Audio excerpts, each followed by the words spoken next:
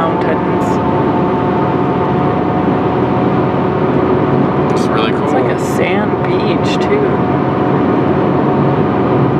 Mm, no, it's just really dry dirt. Well, it could be. We'll have to go to the sand dunes. So yeah, we need to check that out. That's like. We could maybe do that next weekend. Well, how far was that? Was that a four-hour drive? It was. That's- okay. We're doing three today, I mean, so. yeah. I mean, that's just like crazy in my mind, though. Sand dunes in Colorado, Yeah. the mountains are. Somebody's gonna go